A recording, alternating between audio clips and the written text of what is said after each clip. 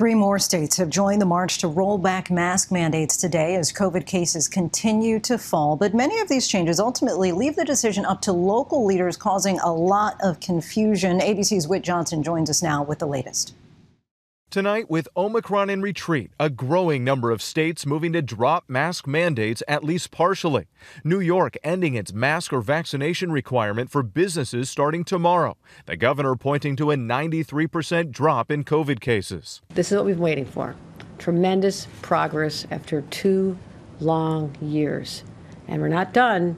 Decisions will be left up to local officials. In New York City, which has often been the epicenters of these waves of the virus, there will still be a mask mandate on mass transit, and proof of vaccination will be required at restaurants, theaters, and arenas. I think it's a smart idea to keep it going a little bit longer in the city because we have more people. And the governor stopping short of lifting masks in schools until at least early March. Today, Rhode Island and Illinois dropping mandates like New York at least nine states now rolling back restrictions within weeks. I think all of us are getting tired of wearing masks, that's for sure. It's with a big feeling of relief to get back to normal. I think a lot of the other business owners are just going to be so excited. Massachusetts joining Connecticut and dropping school mask requirements on February 28th. It's time to give our kids a sense of normalcy and lift the mask mandate. With new cases in the U.S. plunging nearly 70% in the last three weeks, there is growing pressure on public officials to drop the mandates. But the entire country is still seeing high levels of transmission, and the White House isn't backing down on the federal recommendation that most Americans should mask up in indoor public settings and schools. When you are in a high transmission area, which is everywhere in the country, you should wear a mask in indoor settings, including schools. As states move on their own, the CDC director today pressed repeatedly for specific guidance on how to ease restrictions. We are working on that guidance. We are working on, you know, following the trends for the moment.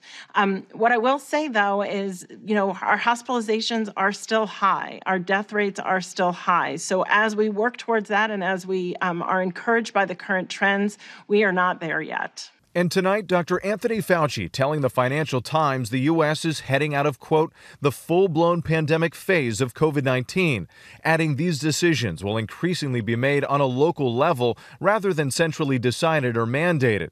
There will also be more people making their own decisions on how they want to deal with the virus. Fauci says there is no way we are going to eradicate this virus, but I hope we are looking at a time when we have enough people vaccinated and enough people with protection from previous infection that the COVID restrictions will soon be a thing of the past. Is so many anxious at this point to return to some semblance of normalcy. Whit Johnson joins us now. And Dr. Fauci also talked about whether all Americans would need boosters in the future. What did he have to say about that? Linsey, Dr. Fauci says he doesn't think regular vaccine booster shots will be needed for everyone. For example, if you're a normal 30 year old with no underlying health conditions, you might only need a booster shot once every four to five years, but it would depend on who you are, and things like health and risk factors would have to be taken into account. Linsey? All right, Whit Johnson for us. Thanks so much. For more on the politics of the pandemic, let's bring in ABC News political director, Mr. Rick Klein. Rick, thanks so much for joining us. And we've certainly seen several mayors and governors in blue states in recent days announce plans to roll back mask mandates and other pandemic restrictions. And so many Americans are eager to move past this pandemic, but the CDC and the White House have not moved on any national guidance on dropping those restrictions. What's driving the disconnect here?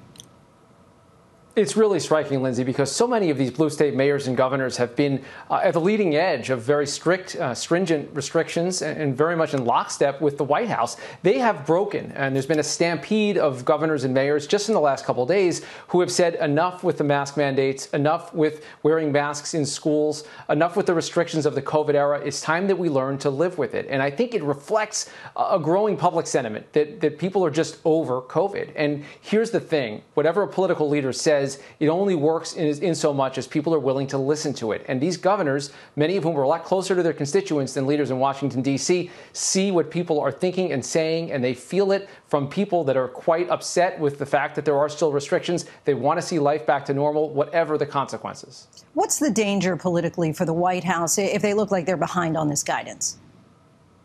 Yet you don't want to be the last one to recognize the reality as people live their lives. Uh, frankly, Linsey, for much of the country, COVID has been effectively over in terms of people's behaviors for a long time, a year plus. And in terms of schools, there's been all sorts of differences between how people are, are actually implementing guidelines and whether they're listening to it. It has been a raging debate around the country.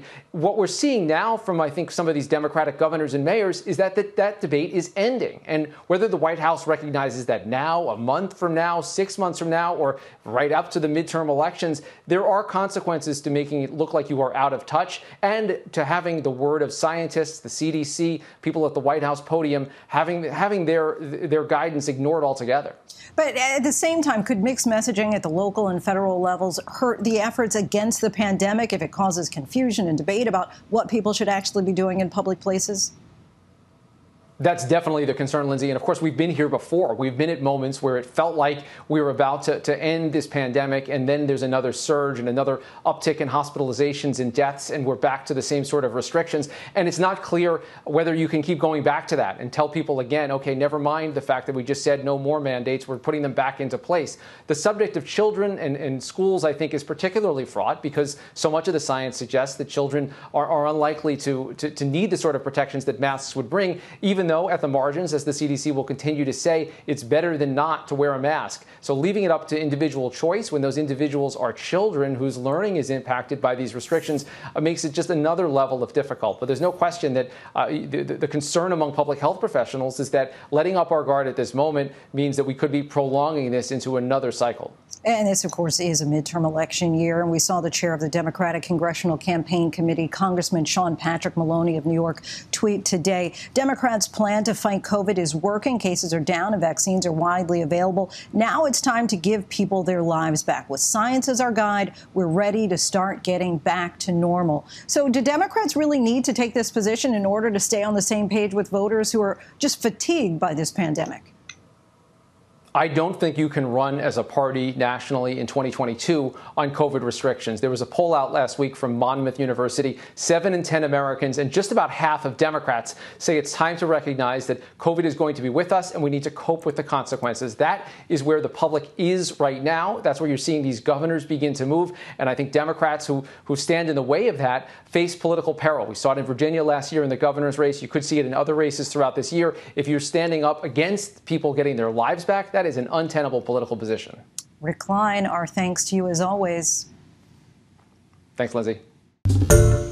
Hi, everyone. George Stephanopoulos here. Thanks for checking out the ABC News YouTube channel. If you'd like to get more videos, show highlights, and watch live event coverage, click on the right over here to subscribe to our channel. And don't forget to download the ABC News app for breaking news alerts. Thanks for watching.